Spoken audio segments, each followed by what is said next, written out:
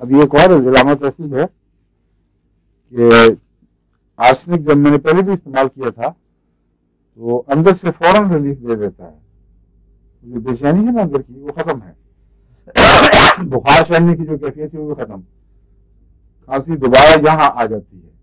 छाती को साफ़ करती है एक बहुत अच्छी इलामत है।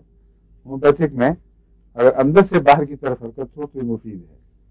अगर गले को आराम है और छाती पे उतरे तो ये खतरनाक चीज़ है। इसलिए जो इसमें एक और चीज़ मैंने देखी है, वो ये कि पहले भी खाने के कुछ देर के बाद नाक सेंसिटिव हो जाता था। जैसे नज़रों से पहले चीखें शुरू होती हैं। तो जो खारिश है, ये गले में नहीं, बल्कि नाक के ऊपर भी चढ़ती है। अभी मेरी सीख आई थी ना एक जो नहीं महसूस किया आपने। हाँ महसूस नहीं आई होगी तो मैंने वो दिलवाली होगी। मगर कोशिश करती है। और मुस्तकिल नज़र नहीं पैदा करती। कल भी यही हुआ था।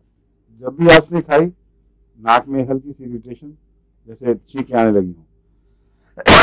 और छाती बिल्कुल साफ़, कोई तकलीफ़ नहीं। बारिश वही पुरानी वापस आ रही थी यहाँ। जिसका मतलब है कि वहीं रखकर कोई दवाई अगर मिले तो ठीक करनी चाहिए। फास्फोरस, उसमें अभी तक जो मैंने देखा है, वो बहुत मुफीद रही है। मैं वापस जाके फिर खाऊँगा, थर्टी। शाम को पता चलेगा।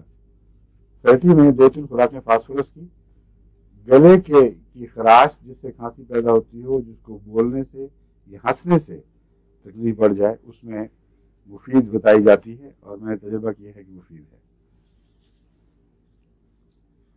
मगर शोर से ये दिल की बीमारी ज़ाहिर हो जाना या हाइज वगैरह, ये अजीब बात है।